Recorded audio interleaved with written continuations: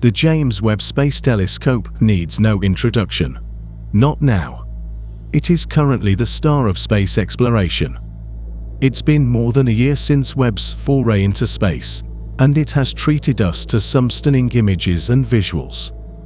So, when we have such a powerful lens pointed toward the deepest regions of the universe, our definition of surprise is bound to be slightly altered when it comes to astronomy pics. It's no longer astonishing, really, when NASA's James Webb Space Telescope reveals yet another brilliant, ancient piece of the cosmos that forces us to rethink everything.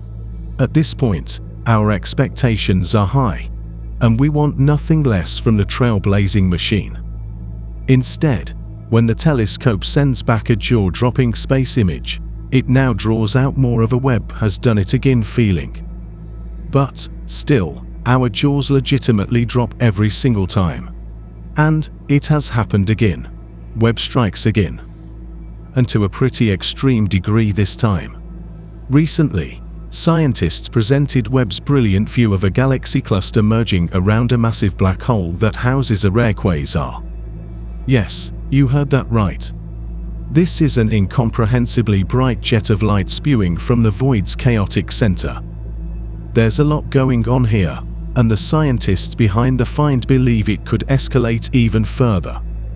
Andrey Vayner, a Johns Hopkins astronomer and co-author of a study about the image said in a statement, We think something dramatic is about to happen in these systems. What's especially fascinating about this portrait is that the quasar here is considered to be an extremely red quasar, which means it's super far away from us and therefore physically rooted in a primitive region of space that falls near the beginning of time. And while the image may look like patches of color to the untrained eye, but to the trained eye everything about the image is complex, mesmerizing, and unbelievable. And the monster, of a black hole at its center only makes it even more of a groundbreaking discovery. Orbit. Beyond the blue. In order to understand the image and the grandiose of what we are witnessing, let's deconstruct the image. First, we've got an extremely red quasar.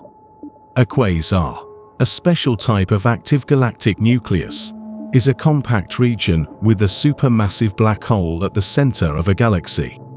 Gas falling into a supermassive black hole makes the quasar bright enough to outshine all of the stars in the galaxy combined. It is extraordinarily red not just because of its intrinsic red color, but also because the galaxy's light has been redshifted by its vast distance.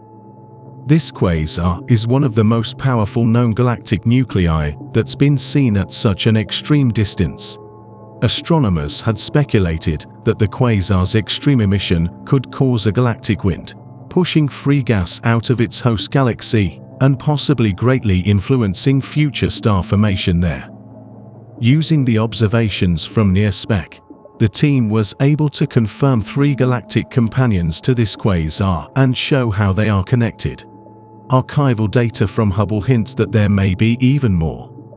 The three confirmed galaxies are orbiting each other at incredibly high speeds, an indication that a great deal of mass is present. When combined with how closely they are packed into the region around this quasar, the team believes this marks one of the densest known areas of galaxy formation in the early universe. We could be seeing a region where two massive halos of dark matter are merging together with this image Webb has essentially uncovered a surprising cosmic knot in the early universe. Talking about galaxy mergers, there's another one happening as we speak. A merger like no other. A galactic merger between the Andromeda and Milky Way galaxies. The Andromeda Galaxy is the closest spiral galaxy to the Milky Way. It is only visible as a fuzzy patch of light in the dark skies, and can be seen only if one is consciously looking for it.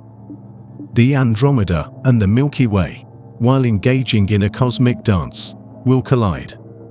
The Andromeda Galaxy is already in transit and hurtling towards the Milky Way at a speed of 70 miles per second.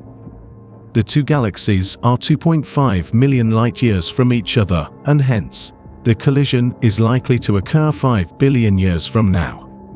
And new research done on Project AMIGA in which the Hubble Space Telescope was used has confirmed this news.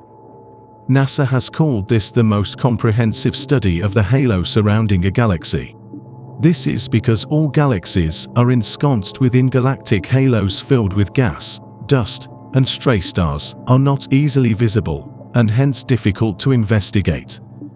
But these astronomers were able to measure the size of the Andromeda galaxy by examining the amount of light it absorbed from the background quasars. Surprisingly, they found that the Andromeda's halo goes far beyond its visible boundaries. In fact, they discovered that it goes as much as half the distance to our Milky Way. While astronomers are finding it difficult to measure the characteristics of the Milky Way's halo, they believe that it would be very similar to that of the Andromeda given their apparent likeness. And therefore they came to the conclusion that the faint halos of the galaxies have started to touch one another, inevitably setting in motion the path towards a collision. A series of studies show that rather than simply bypassing each other, like most cosmic collisions do, Andromeda and Milky Way galaxies will in fact merge to form a single elliptical or football-shaped galaxy. However, these two galaxies are not going to be the only ones playing the game. One large galaxy in the local group of galaxies, or our neighboring galaxies in the rough distance of about 5 million light-years of space, called the Triangulum Galaxy will also join in. Although the Triangulum may not join the actual merger, it may, at some point, strike the Milky Way while it is busy undergoing the cosmic collision. Often, when collisions happen, galaxies simply pass each other, like two ghosts at night. This is so because the stars within the galaxies are so far apart that collisions are almost nearly impossible. But when Andromeda and Milky Way collide, there will be consequences.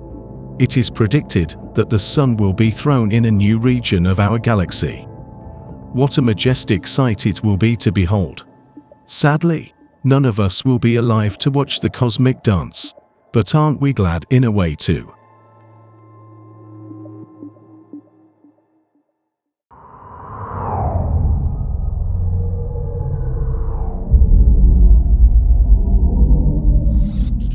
Orbit.